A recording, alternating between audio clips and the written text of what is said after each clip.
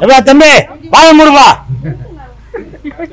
தம்பி வாய மூடா பேசிட்டே இருக்க தன தன பேசிட்டு இருக்கல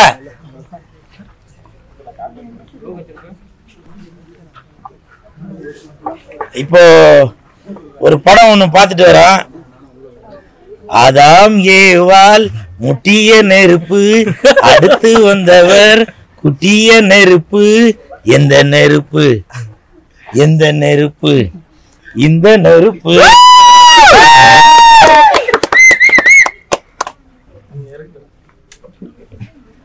இந்த படத்துல ஹீரோயின் நடிச்சிருக்காங்க.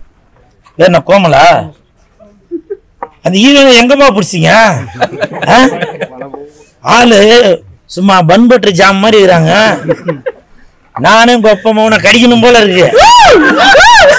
ஆனா எனக்கு முன்னாடி ஹீரோ கடிச்சாரு நான் சொல்லல. நான் ஆதாரத்தோட தான் சொல்லுவேன். நீங்க வந்து ஆதாம் மேவால பாருங்க. அவர் பன் ஜாம கடிச்சாரா இல்லையான்றது தெரியும். ஆ? அதுவும் இல்லாம அந்த பொண்ணு நல்ல பர்ஃபார்மன்ஸ் பண்ணியிருக்காங்க சூப்பராக பண்ணியிருக்காங்க அந்த காதல் கண்ணிலே தெரியுது. அவங்களோட கண்ணு நல்லா நடிச்சிருக்கு. சூப்பராக நடிச்சிருக்காங்க. அவர்களுக்கு என் மனமார்ந்த வாழ்த்துக்கள்.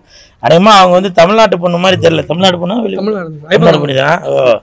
ஆள் ஃபாரின் கேர்ள் மாதிரி இருக்கிறாங்க. நல்லா கொழுக்கு முழுக்கு தழுக்குன்னு.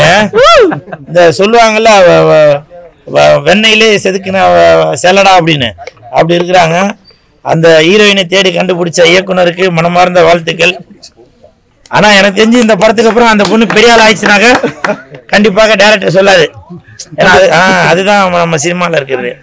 அதே மாதிரி இந்த படத்தோட கதாநாயகன் குரு அவர்கள். வணக்கம் சார்.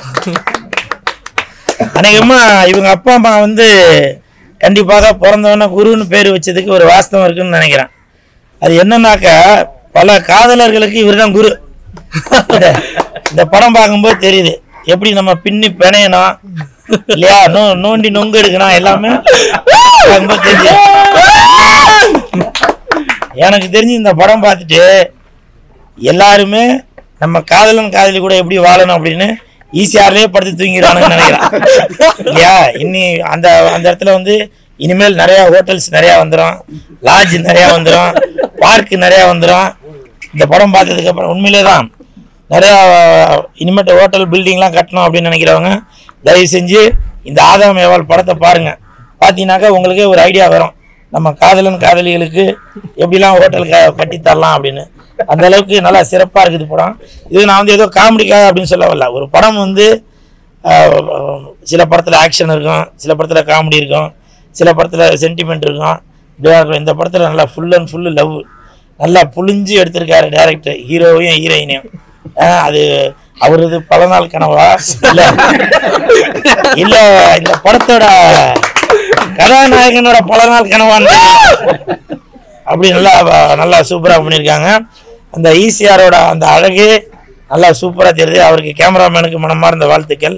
அந்த கேமராமேன் டாப் ஆங்கில் போகும்போது இவங்க ரெண்டு பேர்னால அந்த பீச் அழகா தெரியுதா? இல்ல பீச்னால இவங்க அழகா தெரியுறாங்களான்னு தெரியல. அவ்வளவு சூப்பரா இருக்கு. ஒரு சில ஷாட்ல வந்து கதாநாயகன் நம்ம குரு அவர்கள் பேர்பாடியிலே நம்ம சல்மான் கான் மாதிரி வராரு. இல்ல அதெல்லாம் ஒரு அதுக்கு ஒரு கெட்ஸ் வேணும். இல்லப்பா எனக்கு வெக்கமா இருக்கு அப்படின்னு சொல்லணும் இல்லையா?